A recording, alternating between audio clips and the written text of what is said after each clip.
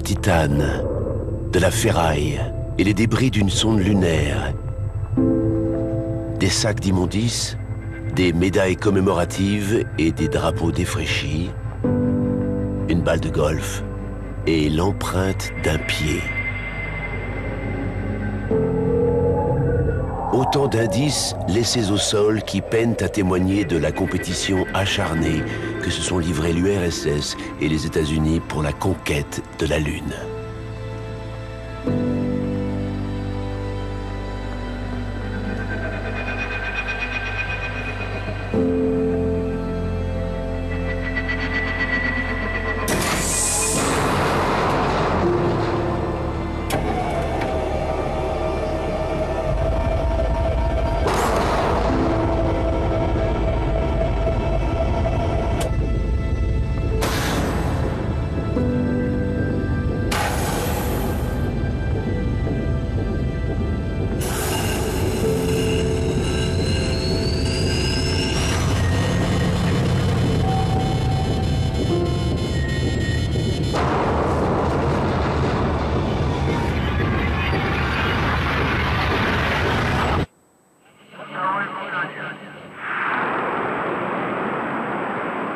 Soviétique engage la bataille dans la nuit du 4 octobre 1957 dans la région de Baïkonour.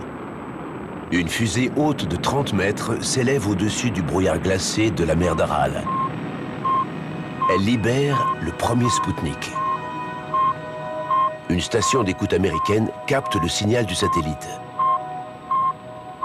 C'est la guerre froide et le monde entier est sidéré. Ce vol d'une heure et demie fait plus pour l'URSS que 40 années de propagande. Le communisme montre sa supériorité sur le capitalisme, annonce les soviétiques qui savourent leur triomphe. Le New York Herald Tribune titre sur la grande défaite des États-Unis. Un mois plus tard, Nikita Khrouchtchev, le maître de l'URSS, récidive. Et pour fêter le 40e anniversaire de la révolution bolchevique, le concepteur du programme spatial soviétique, Sergei Korolev, envoie Laika dans l'espace à bord de Sputnik 2. In a masterpiece of propaganda timing, the Soviet Union announced it had launched Sputnik number 2, carrying a live dog, yet behind the scientific success lies a grim military warning. The rocket is capable of carrying a ton and a half hydrogen bomb warhead. La psychose s'empare du monde libre et les États-Unis redoutent des bombardements soviétiques venus du ciel.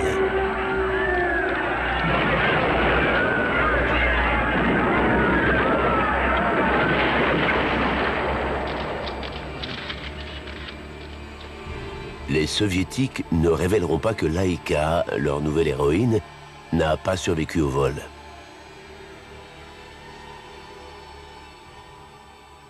Deux mois après Sputnik 1, une fusée Vanguard de l'US Navy explose sous les yeux des autorités.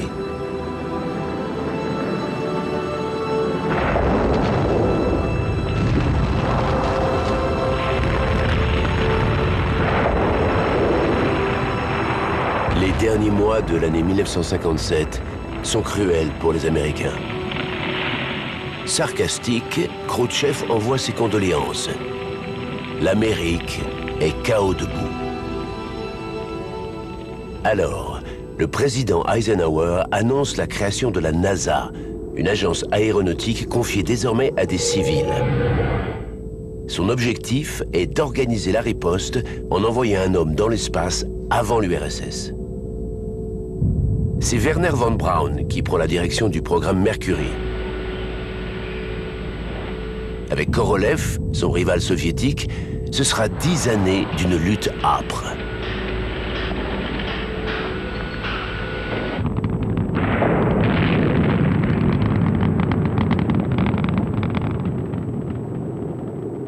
Les futurs conquérants américains vont être choisis parmi 5000 candidats, majoritairement des pilotes de chasse de l'armée américaine. Au Dolly Madison House de Washington, les sept astronautes sélectionnés sont présentés à la presse. These ladies and gentlemen are the nation's Mercury astronauts.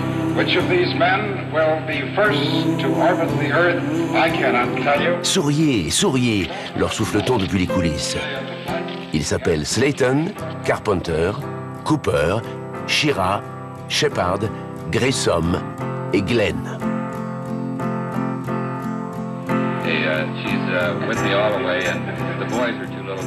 Les télévisions retransmettent l'événement en direct. Well, all seven of the men are officers and test pilots, uh, three Air Force, three Navy, and one Marine. All are volunteers. I thought my father would be one, one of the seven that was going to be picked. How did you figure that? I just thought so.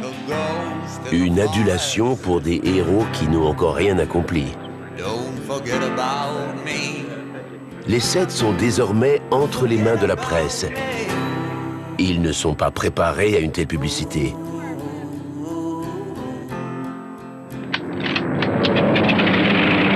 Ils ont combattu pendant la Seconde Guerre mondiale. D'autres dans le conflit de Corée. Ils sont devenus pilotes d'essai sur des bases perdues en plein désert.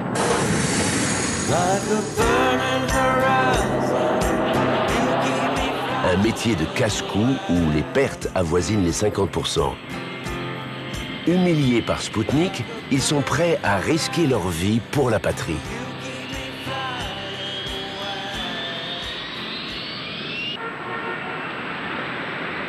Le magazine Life a obtenu l'exclusivité de l'histoire intime de l'aventure spatiale. Les astronautes recevront chacun 25 000 dollars par an. Dès la parution du magazine Life du 14 septembre 1959, John Glenn devient aussitôt le chouchou de l'Amérique. Tel un évangéliste, il parle haut en affirmant qu'il ne serait rien sans Annie, sa femme. Une semaine après la une des astronautes, paraît celle de leurs épouses. Par contrat, elles doivent livrer leur vie de couple et leurs pensées intimes, que reporters et photographes sont chargés d'idéaliser. Elles symbolisent la femme américaine parfaite. Life veut les montrer en fait du logis exemplaire. C'est l'épouse de John Glenn, Annie, qui correspond le mieux à cette image. Leur entraînement débute sur la base de Langley, en Virginie. Les essais se tiendront en Floride, à Cap Canaveral. Get up, get up into the sky. Get up, get up, don't tell them why. Get up, get up into the sky. Get up, get up, don't tell them why. Get up, get up into the sky. Get up, get up, don't tell them why. Get up, get up into the sky. Get up, get up, don't tell them why. Le Cap est une immense friche aride, interdite aux épouses. Le travail est rude. Et le soir venu, les astronautes aspirent à se divertir. Ils rejoignent Cocoa Beach, la ville la plus proche, à la merci de flatteurs qui les régalent et leur présentent des filles. Au volant de voitures de sport, ils se lancent des défis dans de longues virées arrosées. La compétition est rude, tant sur le plan sportif qu'avec le sexe féminin. Sous le feu constant des photographes, ils sont des cibles fragiles. John Glenn, lui, fait bande à part. Il se couche tôt et fait de l'exercice dès le lever du jour. Son regard franc raconte une histoire, celle d'un homme pétri de principes. L'astronaute doit être irréprochable. Ces leçons de morale agacent ses partenaires, mais l'Amérique n'accepterait ni scandale ni divorce.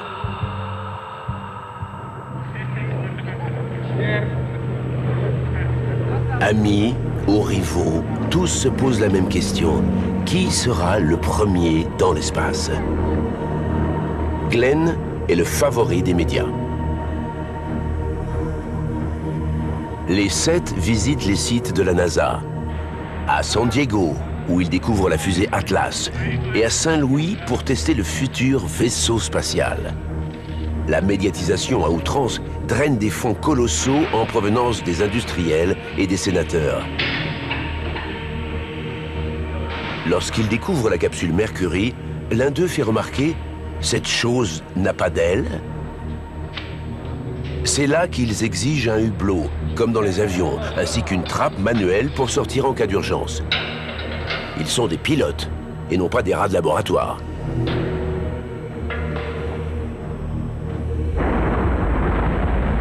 En dépit des efforts de la NASA, l'URSS conserve la maîtrise des missions spatiales.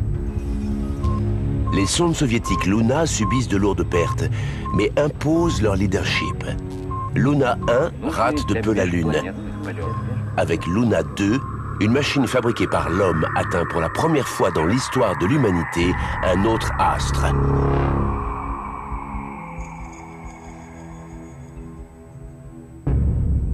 Le jour même, Nikita Khrouchtchev, en voyage officiel aux États-Unis, apprend le succès de ses ingénieurs.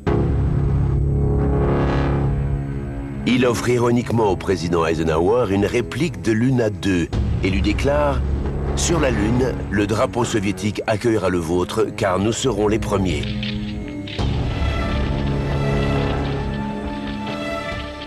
Lorsque John Fitzgerald Kennedy lui succède en 1960, les astronautes s'inquiètent.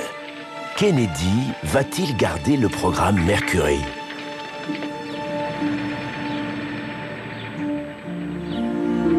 La veille de l'investiture du nouveau président, John Gilroth, le responsable du projet, convoque les sept astronautes. Il leur demande de désigner celui qui sera le premier astronaute. Pour garder une chance d'être élu, chacun vote pour n'importe qui, sauf pour Glenn.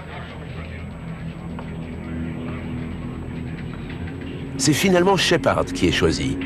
Grissom et Glenn sont remplaçants le secret doit être gardé jusqu'au jour du départ.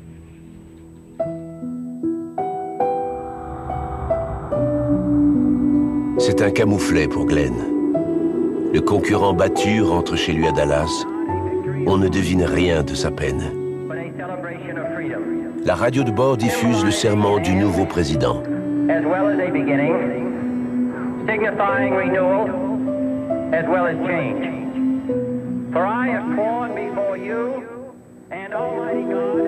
Cet homme blessé sera l'équipier exemplaire d'Alan Shepard. Et lorsqu'un reporter menace de révéler qu'un des leurs a fréquenté une prostituée mexicaine, Glenn convainc le journal de ne pas publier l'information. Mais il prévient l'équipe, nous devons réussir ensemble. Malgré sa déception, Glenn reste un homme droit.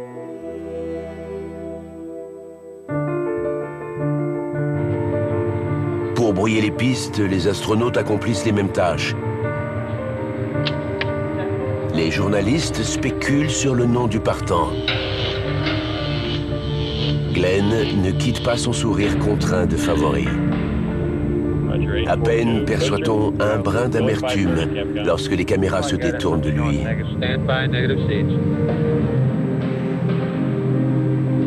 Le vol de Shepard est programmé pour janvier 1961. Mais Von Braun va en décider autrement.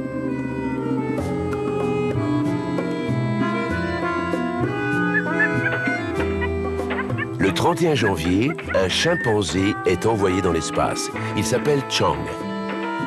Pour faire plus américain, on le rebaptise Ham. Il vient du Cameroun et il a 5 ans.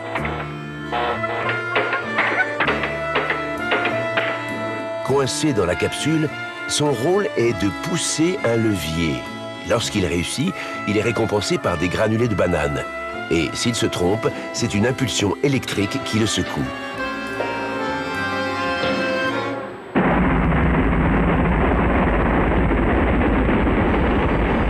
Un vol de 6 minutes à 250 km d'altitude. Et voilà comment le premier astronaute américain est un singe. Au retour, Ham se montre agressif. Alors on lui administre un calmant pour le présenter à la presse. La grande aventure du singe, tel est le nom donné à ce vol. Et l'opinion publique ridiculise les astronautes.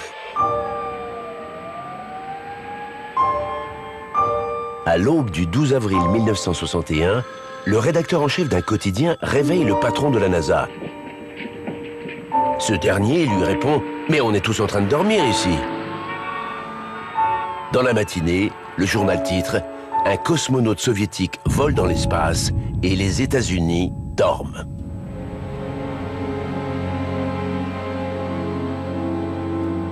Tu vas être le premier homme dans l'espace, lui a-t-on dit ce matin-là. L'homme en question s'appelle Yuri Gagarin. Il a 27 ans, il est le fils d'une laitière et d'un charpentier. Khrouchtchev a choisi ce jeune pilote de chasse parce qu'il représente le mieux l'idéal communiste.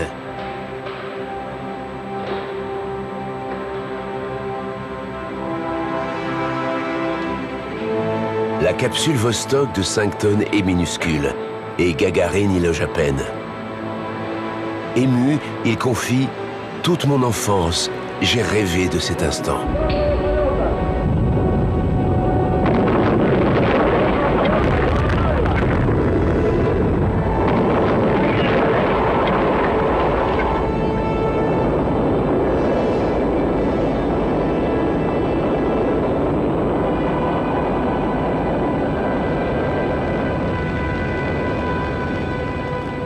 Survole le Japon, puis l'Alaska, où une station d'écoute américaine enregistre sa conversation avec Korolev, le chef des vols soviétiques. Le vol a duré 108 minutes à la vitesse de 28 000 km par heure. De retour sur Terre, Gagarin déclare « Je n'ai pas rencontré Dieu ». Seul à réagir, John Glenn. On a reçu une déculottée. Ça ne sert à rien de se fermer les yeux. Il ravale la rage de ne pas être le premier.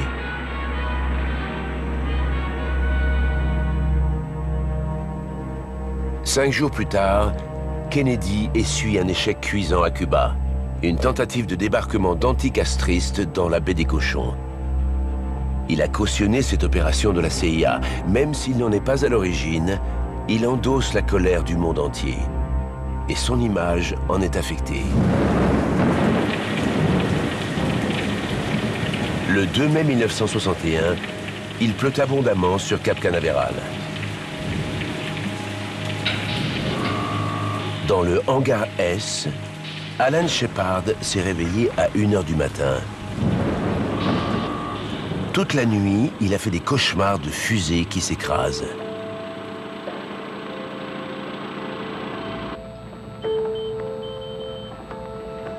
Alan est tendu. Que les médecins détectent la moindre infection et John Glenn, sa doublure, le remplacerait.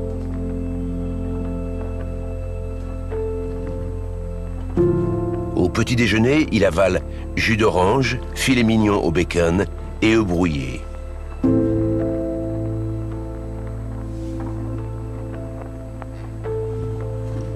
À 5 heures du matin, les journalistes ne connaissent toujours pas le nom du partant mais Glenn reste leur favori.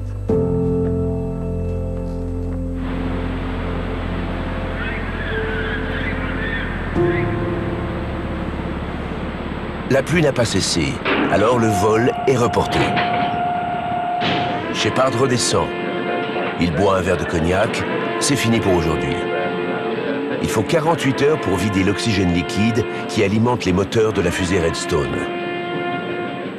La NASA décide alors de révéler l'identité de son premier astronaute. Shepard en est soulagé. Alan B. Shepard was in the pilot preparation area waiting for instructions, but Mother Nature wouldn't cooperate. Le scénario se répète trois jours plus tard. Nouveau réveil d'Alan au milieu de la nuit.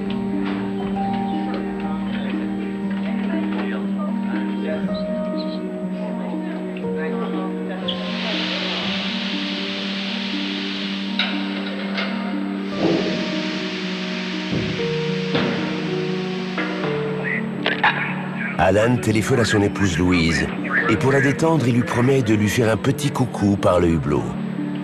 Reviens-nous vite, mon chéri. Je t'aime. Louise sait qu'il risque sa vie, mais elle ne veut pas sombrer dans l'angoisse. Elle a confiance en Alan. left the Mercury astronaut hangar in the specially equipped transportation van, and then he journeyed to the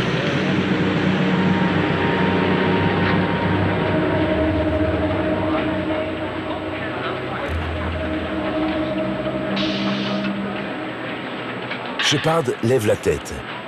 Il veut fixer cette image dans sa mémoire.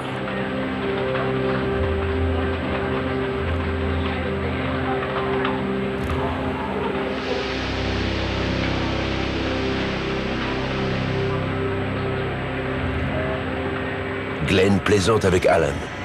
Il lui passe un mot, interdit de jouer au baseball pendant le vol.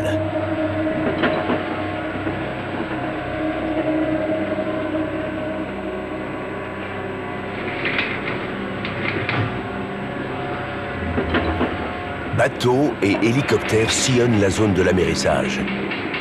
Pour les 300 journalistes, le suspense est entier.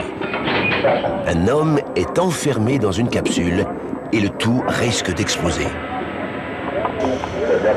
Près de 500 000 personnes prient pour Freedom 7, le nom que Shepard a donné à son vaisseau spatial. Un reporter commente « Il a l'air si seul là-haut ».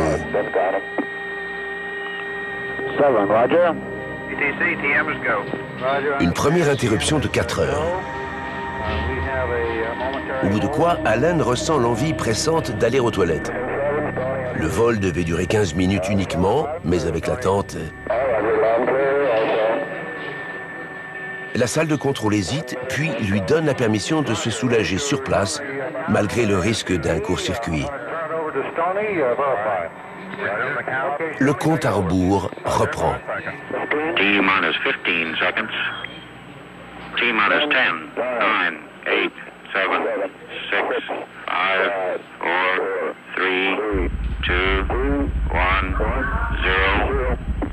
Ignition.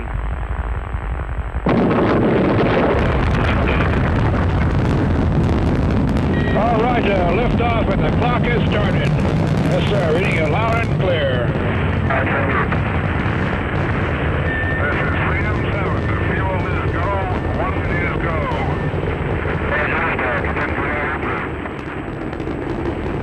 This is Freedom 7. The fuel is go. 1.2 G7 at 14 psi. Oxygen. Shepard a passé quelques minutes seulement dans l'espace, à 187 km d'altitude. Hello, Capcom Freedom 7. How do you read? Main chute is good. Rate of descent is reading about 35 feet per second. Un hélicoptère récupère Shepard dans l'océan Atlantique et le dépose sur le porte-avions Champlain. Ingénieurs et médecins prennent Alan en main.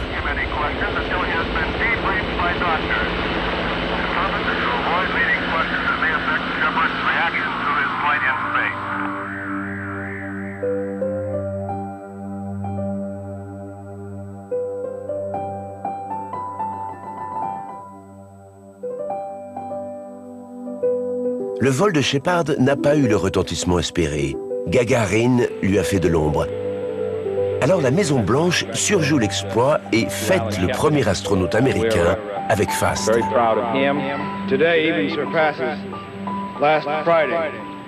as a matter of fact, I got far less sleep last night than I did the night before the flight. Le président souhaite effacer son échec de la baie des cochons par une annonce spectaculaire. Il questionne le vice-président Lyndon Johnson en charge du programme spatial. L'ingénieur Von Braun inspire la réponse. Oui, il est possible d'envoyer un homme sur la Lune dans la décennie. Le succès de Shepard rejaillit aussi sur son épouse. Louise est fascinée par le chic de Jackie Kennedy. Ensemble, elles visitent la Maison Blanche.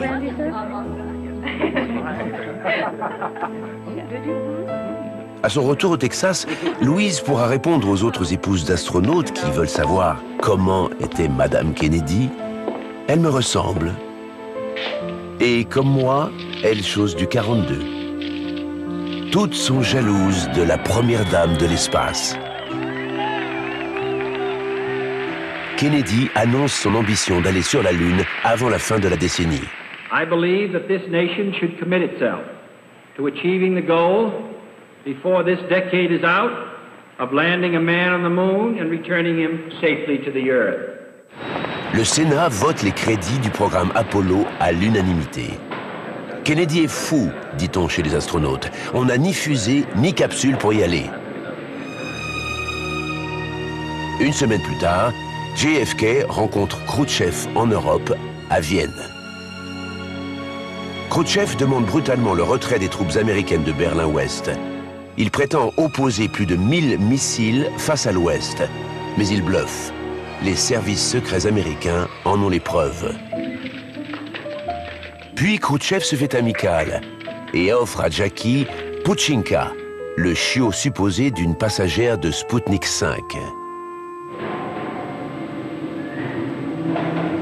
Un mois et demi plus tard, la deuxième mission, celle de Gus Grissom, s'annonce comme le reflet de la précédente. De tous, Gus Grissom est le plus rebelle. C'est un fils de cheminot de 35 ans qui a travaillé dur, combattu en Corée et qui entend gérer sa vie de famille à sa guise. Avec lui, les reporters ne sont pas à la fête. Grissom ne coopère pas, au grand désespoir de la NASA. Il estime ne pas atteindre la perfection de Glenn ou de Shepard, mais c'est un technicien hors pair. Grâce à lui, son vaisseau, le Liberty Bell, est équipé d'une trappe de sortie manuelle et d'un véritable hublot qui lui permettra de voir la Terre. La fusée Redstone n'a pas la puissance pour propulser une capsule en orbite terrestre. Et contrairement aux Russes, Gus n'atteint que 185 km d'altitude.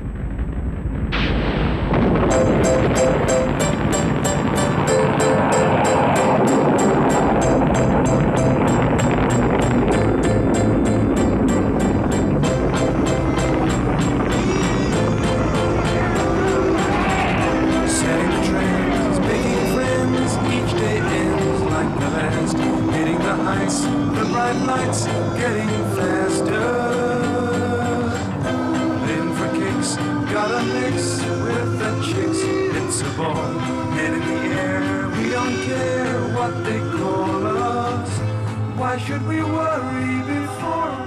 d'en haut, la beauté des paysages lui coupe le souffle.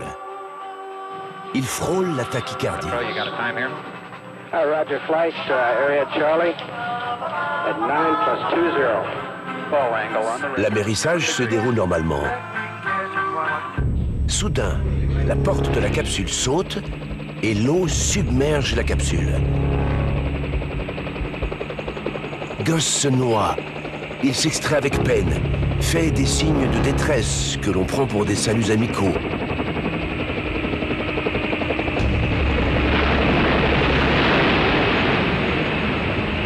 La capsule est perdue.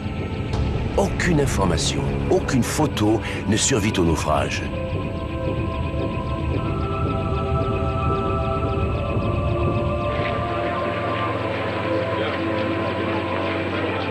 Les ingénieurs le tiennent pour responsable de ce gâchis. On l'accuse d'avoir perdu son sang-froid en ouvrant la porte prématurément. Cette saloperie s'est déclenchée toute seule, répète-t-il. Au téléphone, la première chose que son épouse lui demande, c'est « Tu n'as pas fait de bêtises, Gus ?»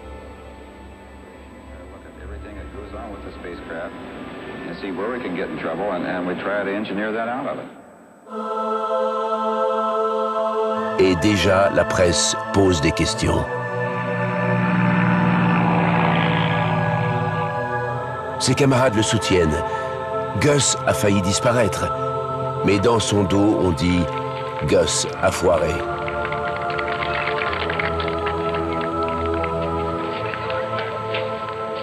Quand Betty Grissom et ses enfants retrouvent Gus, elle réalise que la fête prévue n'aura pas lieu. Elle n'a droit qu'à un repas à la cantine du cantonnement et une nuit dans un motel. Les journalistes ne parlent que de la trappe. Betty est outrée, mais fait bonne figure malgré la froideur des autorités. elle a de la peine pour Gus. Nulle visite à la Maison Blanche, pas de Jackie ni de parade. Betty est en larmes.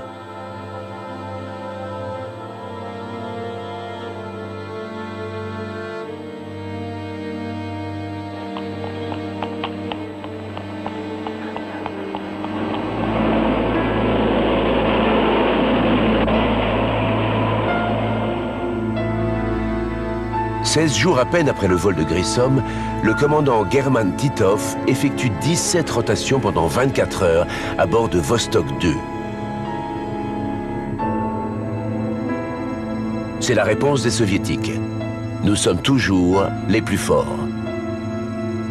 Contrairement aux Américains, les Russes divulguent seulement quelques pauvres images mises en scène et ils s'abstiennent de commenter les nausées qui ont affecté Titov lors des 25 heures de vol. Si les Russes maîtrisent la puissance des fusées, leurs capsules Vostok sont lourdes et massives. Mais ils ont toujours un coup d'avance.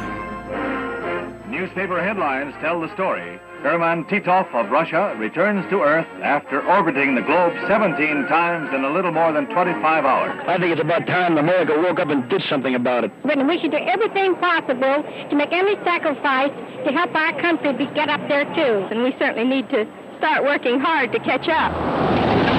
Une semaine plus tard, au matin du 13 août 1961, les troupes soviétiques construisent le mur de Berlin, séparant la ville en deux zones. Kennedy ne bouge pas devant l'audace de Khrouchtchev.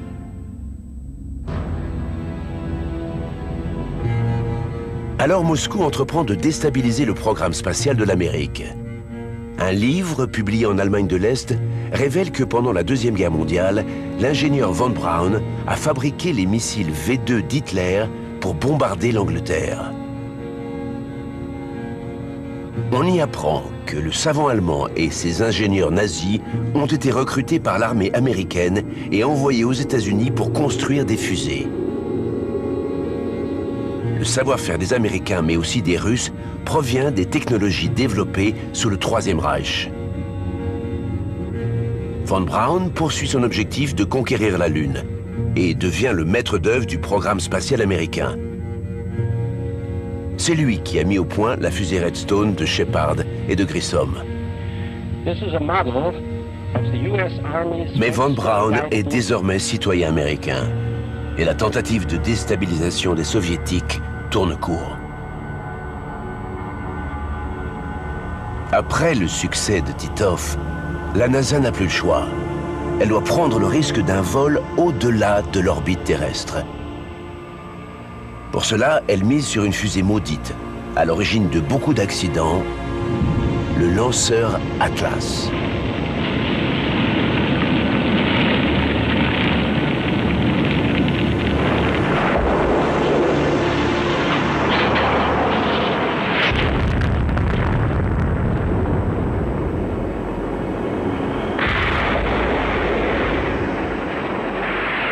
Pour l'honneur de la NASA, du programme spatial et de l'Amérique, l'astronaute John Glenn accepte.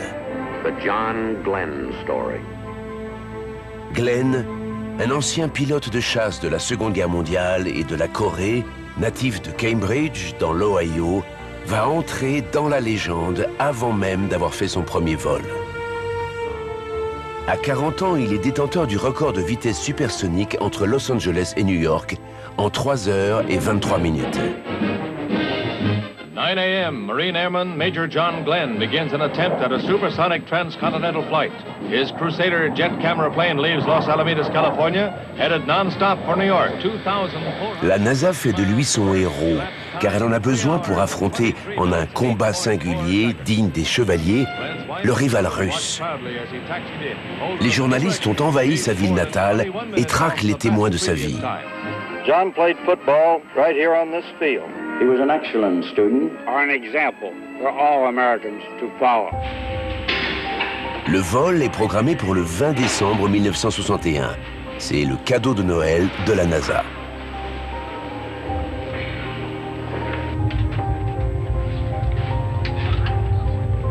Mais mauvais temps et problèmes techniques repoussent le décollage au 20 février 1962.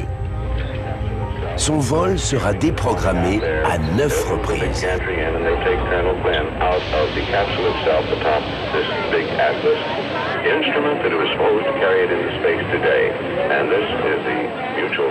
Pour Noël, il reçoit des dizaines de milliers de lettres. Et la foule campe toujours sur les dunes de Cap Canaveral. Le 19 février 1962, Glenn s'endort dans le hangar S, l'antre de la NASA. La nuit est calme, bercée par Madame Butterfly, son air favori.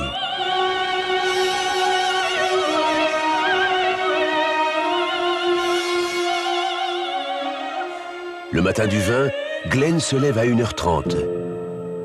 Filet de bœuf et œufs brouillés en compagnie de Dick Slayton, le prochain inscrit sur la liste des départs. Dolores O'Hara, l'infirmière, est une des seules femmes admises au hangar S. Pas un examen, pas une prise de sang sans elle. Elle est leur confidente. Ce jour-là, elle dissimule tant bien que mal la gravité de l'instant.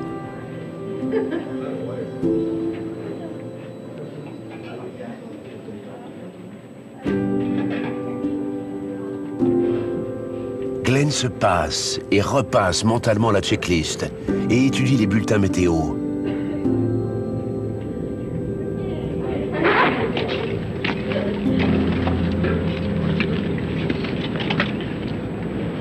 À 5 heures du matin, la centaine de personnes présentes l'applaudit.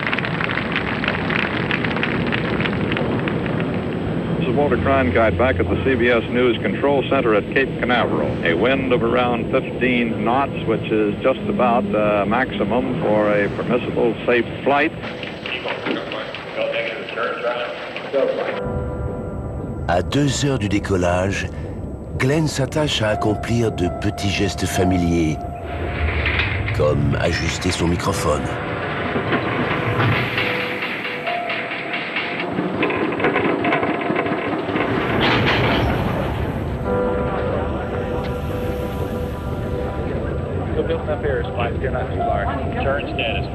Dans la capsule qu'il a surnommée Friendship 7, un miroir lui permet de voir le ciel.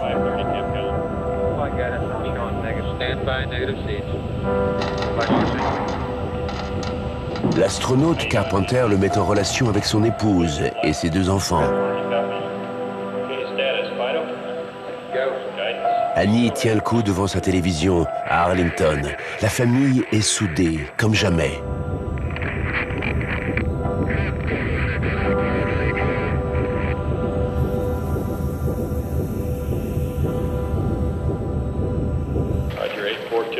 Carpenter, son vieil ami, sa doublure, lui souhaite bonne chance et entame le décompte final.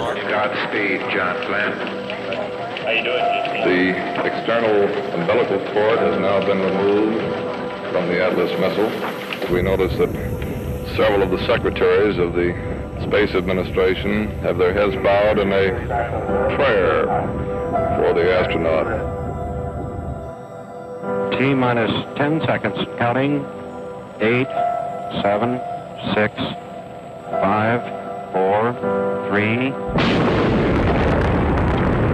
Missile has lifted off from the pad and is rising steady into the sky. The MA6 vehicle has lifted off. Trajectory looks good. Going straight up into the sky.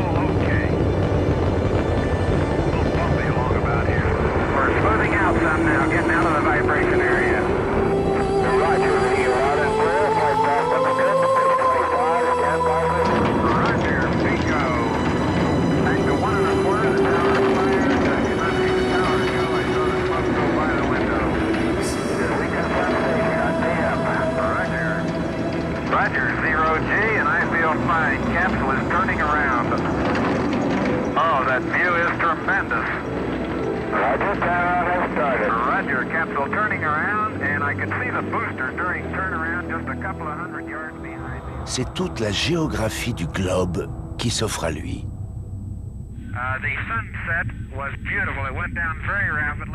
John photographie avec un appareil acheté à la supérette du quartier. Contrairement au pilote de chasse, qui ne parle que par monosyllabes, John décrit ce qu'il voit.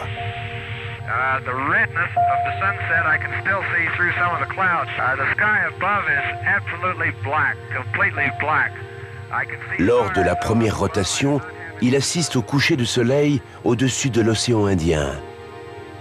Une fine ligne bleue marque l'horizon. Puis l'eau émeraude des Bahamas apparaît lorsque la nuit s'estompe. Les sommets neigeux, les volcans, les orages, les lumières des villes.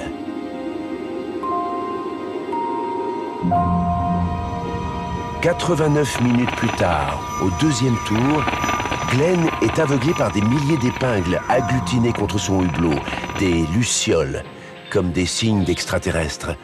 Le phénomène disparaît, puis revient. La salle de contrôle s'inquiète. Soudainement, un, puis deux impacts. Les ingénieurs de la NASA décèlent un problème.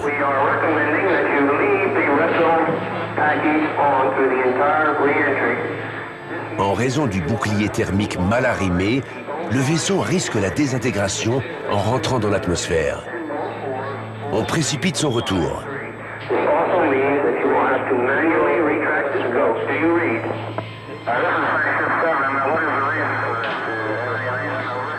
L'astronaute traverse une boule de feu. Son cœur bondit à 109 battements.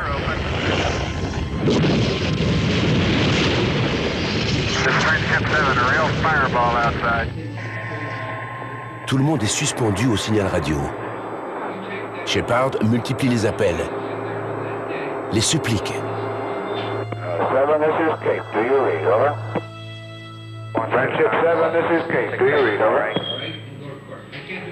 Friendship 7, this is Cape. How do you read? Over. Alarm clear. How many? All right, you're reading loud and clear. How you doing? Main chute is on green. Chute is out in reach condition at 10,800 feet and beautiful chute. La salle exulte. Le cœur de Glenn bat à 134 battements minutes.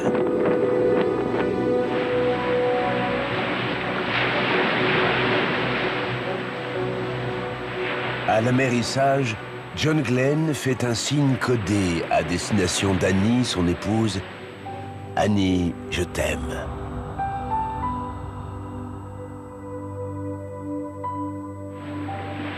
Les matelots du bateau tracent à la peinture le point même où Glenn a posé les pieds pour en garder le souvenir. Le destin de John Glenn va être bouleversé. Bientôt, il quittera la NASA pour devenir sénateur et soutien de Bobby Kennedy dans ses campagnes électorales.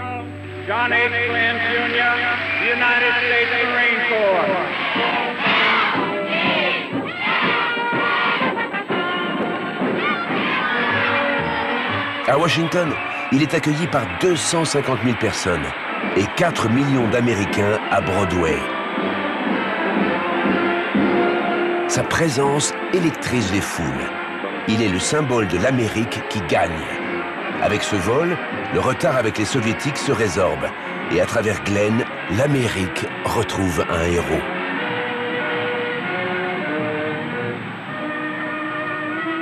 Cette reconnaissance du peuple américain, ils en rêvent tous. Mais au cours d'un check-up de routine, Deke Slayton est interdit de vol en raison d'un problème cardiaque.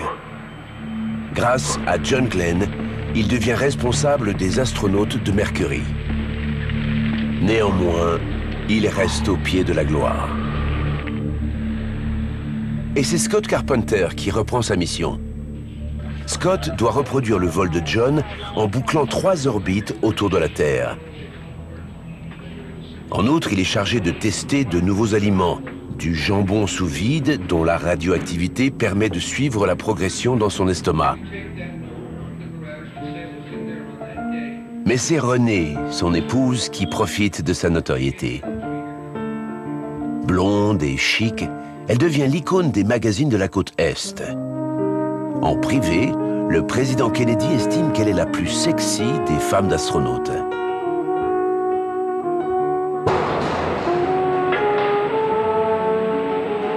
René a décidé de reprendre en main son image en défiant les barons de la NASA. Passant outre le contrat avec Life, elle va écrire elle-même son histoire avec Scott.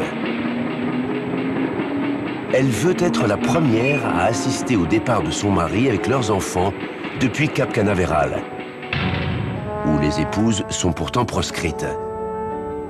J'ai toujours partagé les moments difficiles avec Scott.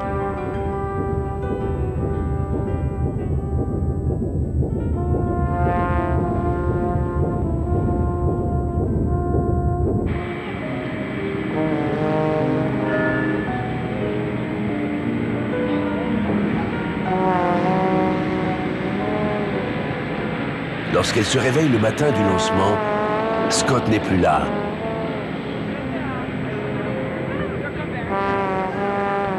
Elle entraîne le photographe qui la suit en permanence sur la plage pour voir le départ de la fusée. Les photos n'en seront que plus belles.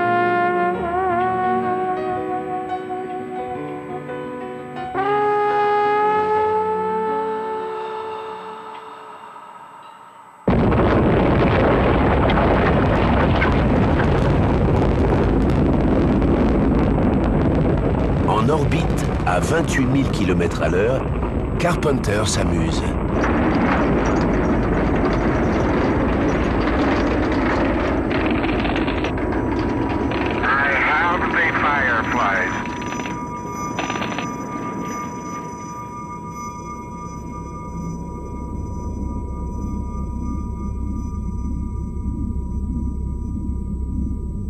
Sous le charme des images qu'il découvre, il perd la notion du temps et consomme trop de carburant. Et lorsqu'il déclenche ses rétrofusées avec quelques secondes de retard, il n'a plus assez d'énergie pour corriger sa trajectoire de descente. À 400 km du lieu initialement prévu, Carpenter dérive. Son silence s'éternise. On a perdu un astronaute. En bonne épouse d'aviateur, n'y croit pas. Un pilote n'est jamais mort avant que l'on identifie son corps. Et elle n'est pas du genre à broyer du noir.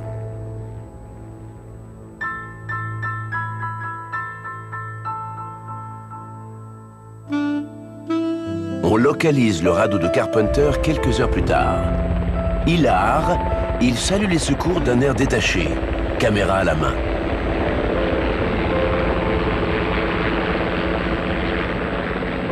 La NASA ne lui pardonne pas sa désinvolture et un bureaucrate affirme que Carpenter ne volera plus jamais.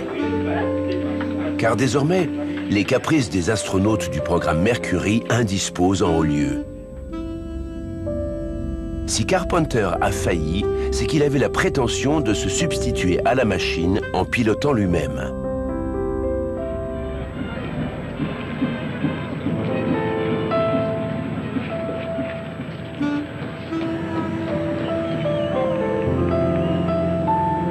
Grâce à la popularité de René, les Carpenters sont reçus à la Maison-Blanche.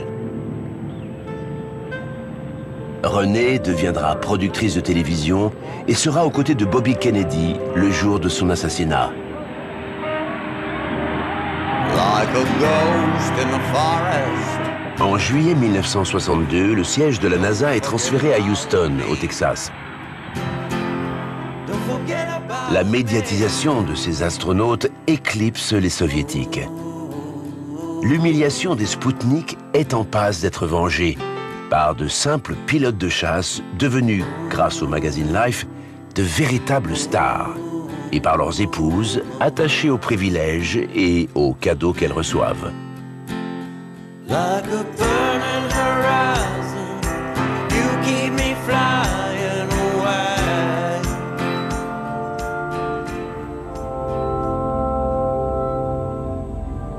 À Cuba, pendant les 13 jours de la crise des missiles, Kennedy fait plier Khrouchtchev et, aux yeux de son opinion, il sauve la paix.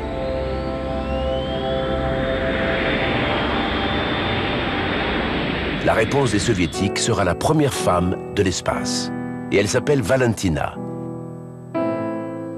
Valentina Tereshkova. Elle a 26 ans. C'est une jeune ouvrière du textile que Khrouchtchev a choisie lui-même. Mais Valentina est avant tout un objet de propagande. Elle montre au monde entier que la femme soviétique est la plus moderne et la plus émancipée. René Carpenter le souligne. L'image de la femme américaine apparaît bien rétrograde.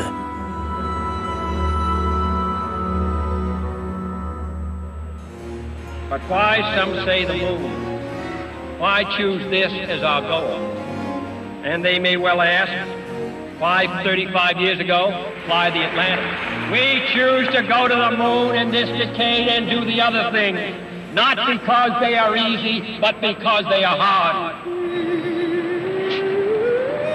Dorénavant, neuf nouveaux astronautes ont intégré le programme spatial. Aux côtés de militaires, on trouve géologues, médecins et physiciens. Parmi eux, Neil Armstrong, un jeune pilote d'essai venu de l'Ohio. Avec lui, Frank Borman, James Lowell, Ed White, tous sélectionnés pour le nouveau programme Gemini. Les sept pionniers de Mercury ont rempli leur rôle. Ceux de Gemini et Apollo prennent le relais avec pour mission la conquête de la Lune.